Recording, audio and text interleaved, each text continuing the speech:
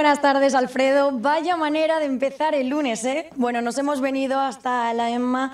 Tenemos con nosotros a Mariana Collado, a Carlos Chamorro y a Alfonso Acosta. Y esto que acabamos de ver es solamente una pequeña parte del espectáculo que nos van a ofrecer el próximo jueves 26 de octubre a partir de las ocho y media en el Teatro Apolo. Este espectáculo se llama Lady Mambo y es una coproducción entre Madrid y Almería. Muy buenas tardes. Buenas tardes. Bueno, ¿cómo van esos ensayos? Pues bien, eh, eh, tomando contacto con los cuerpos, con la música, con la escena, con los textos, con todo. Contentos de estar aquí en Almería, mi tierra. Me imagino, esto es un adelanto de lo que vamos a poder ver el jueves, hablándonos un poco de vuestro espectáculo que aúna un poco de realidad eh, y de ficción. Sí, es un, la dualidad del ser humano, ¿no? Entre estar bien y estar mal. ¿no? esa sutil línea que, es súper importante estar siempre en equilibrio ¿no? entre tu lado más amable y tu lado más canalla, entre la risa y el llanto, entre estar bien, ser positivo y estar un poco más regular. Así que es esa lucha interna que tiene el ser humano, ¿no? Cómo buscamos siempre ese equilibrio, pero por medio del teatro, de la risa, del humor, de, los textos, de la danza española, del flamenco, de la música, de los diferentes estilos musicales. Bueno, es, coqueto. Es coqueto. ¿Cómo ha sido eh, establecer o crear este espectáculo y trabajar juntos? Pues ha sido una experiencia maravillosa. Yo llevo trabajando con Carlos ya muchísimos años en su compañía, Malucos Danza, desde casi desde 2009 y para mí fue pues una maravilla encontrarlo, ¿no? Aparecer este, este ser de luz.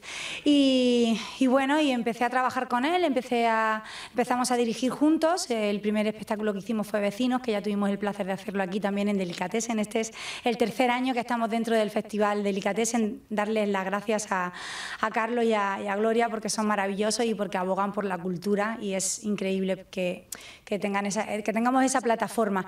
Y nada, y ya está en nuestra cuarta eh, producción juntos y, bueno, y ahora pues el mambo se nos metió en el cuerpo y ahí estamos sacándolo. Y con, con Alfonso pues ya llevamos bastantes producciones, es el director musical que nos acompaña en todas nuestras locuras, baila, toca, eh, interpreta, todo, lo hace todo. Así que es un placer trabajar juntos, la verdad es que hacemos un, un gran equipo. ¿Qué pretendéis o qué creéis que vuestro, vuestro arte va a generar en el público que venga a veros este jueves? Bueno, como ha dicho Mariana, todo lo que ha contado el bien y el mal, verdaderamente al final lo que queremos es que hay, una, hay un equilibrio y hay un, un, abrazo entre, toda, entre todos los sentimientos que pueden llegar a, a generar la alegría que es lo que al final buscamos, que todo esté, que todo esté bien.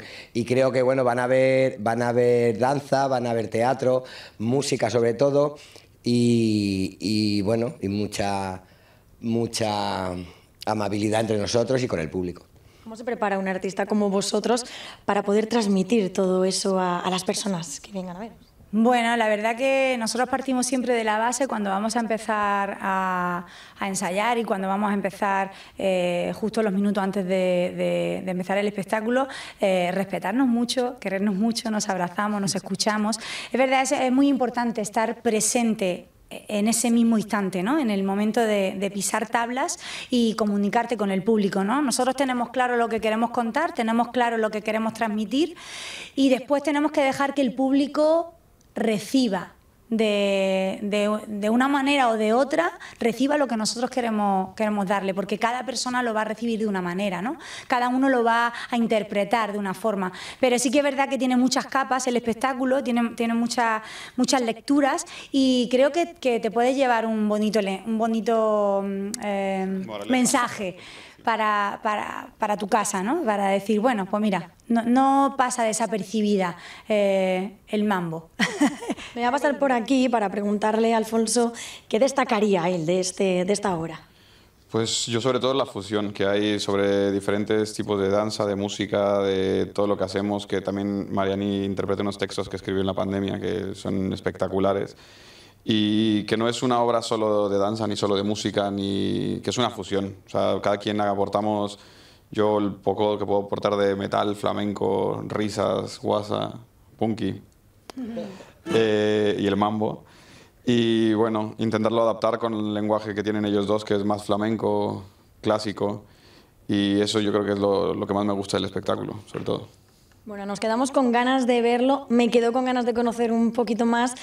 No sé si pediros que terminemos igual que hemos empezado. ¿Sí? Vamos a darle caña. Muchísimas gracias. Alfredo, pues os dejo con ellos, ya lo sabes, ya lo decía al principio, el jueves a partir de las ocho y media en el Teatro Apolo van a representar este espectáculo que se llama Lady Mambo.